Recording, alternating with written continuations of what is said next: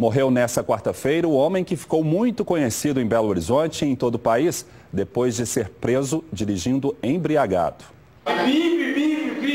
Essa declaração virou uma sensação em todo o Brasil. Ellison foi preso em julho de 2008, depois de bater em dois carros, abandonar o veículo em que estava e fugir da polícia.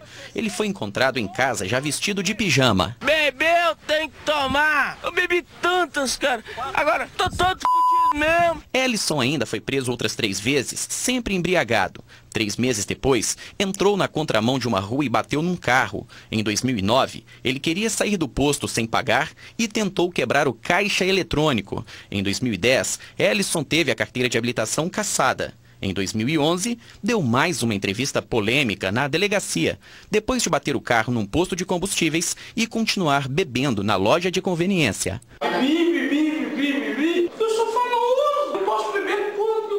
Em 2011, Ellison decidiu apagar a imagem negativa e virou exemplo em uma campanha do Batalhão de Trânsito da Polícia Militar. É um perigo dirigir embriagado. Hoje eu enxerguei isso. Peço que todos os brasileiros não façam o mesmo que eu fiz. Não repita a mesma coisa que eu fiz. No ano seguinte, foi candidato a vereador, mas não foi eleito. Ellison Miranda morreu no feriado de 12 de outubro, anteontem, depois de cair do telhado de uma empresa ao lado da casa dos pais dele, no bairro São Francisco. O homem chegou a ser levado para o hospital Odilon Berens, mas não resistiu aos ferimentos.